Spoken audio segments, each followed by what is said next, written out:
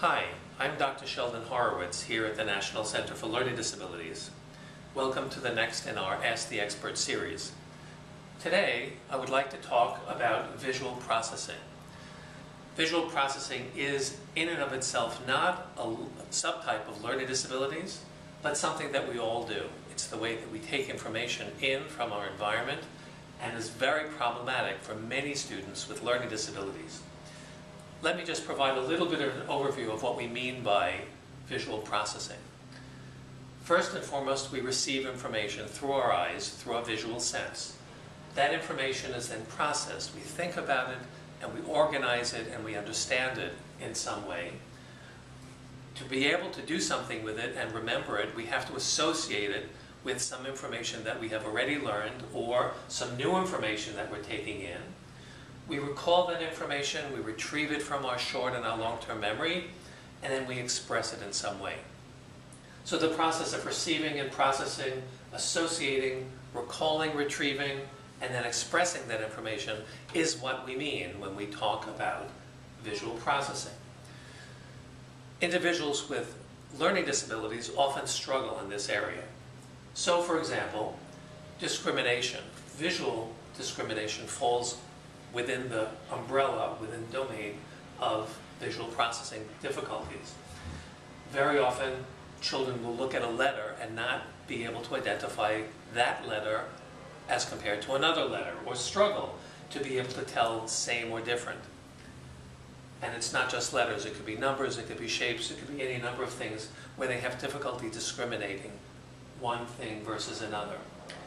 In terms of figure ground, meaning what's in front and what's in back, how things appear in space, individuals with learning disabilities often have difficulties finding details. So when you think about the Where's Waldo books, very, very difficult for many students with learning disabilities if they struggle in this visual processing area. And then being able to see things against the competing background. So that could be something very specific, or it could be looking at a page and picking something out from a page. It could be a piece of text, it could be a piece of a graph, it could be a number on a chart. These are the kinds of figure ground difficulties that many students with visual processing difficulties have.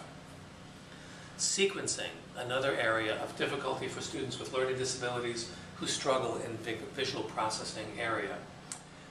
For example, the order of, of things, how they appear. So for example, in a math equation, there may be numbers in a sequence. There may be the order of letters and words.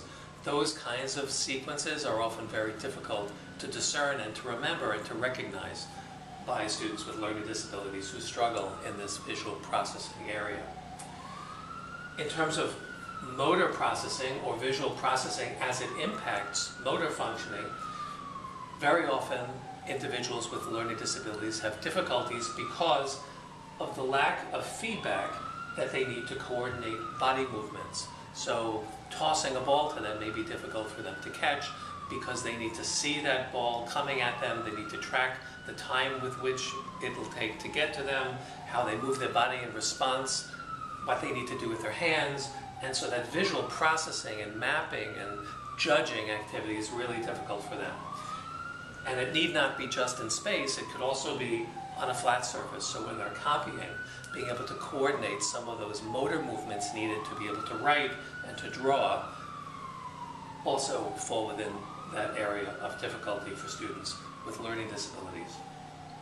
As mentioned before, to be able to receive, process, and associate and recall and express information, you need to do something with it when it comes in and you begin to understand it. So short and long-term memory are areas of weakness when information comes in visually for many students with learning disabilities. Um, a good example might be if you're using a keyboard or using a calculator imagine how difficult it is for a student who uses a keyboard if every time they use that keyboard or have to find numbers on a calculator, they have to go searching for them. Their memory, their visual memory for the information that they need to be able to use that device efficiently is not working well. Another thing in the visual processing domain has to do with spatial relations. Reading maps, finding their place, or judging how long something takes something judging time, for example, is an area of weakness for many students with learning disabilities. And visual closure, looking at something and saying, well, there's a missing part, identifying what that missing part is. Um, and even facial recognition is sometimes difficulty for students with learning disabilities who struggle in visual processing. For more information about visual processing and other characteristics of learning disabilities, please visit the ld.org site, www.ld.org. We would love to hear from you if you have comments or would like to ask questions. Please visit our website. Please write to us at ncld at ncld.org.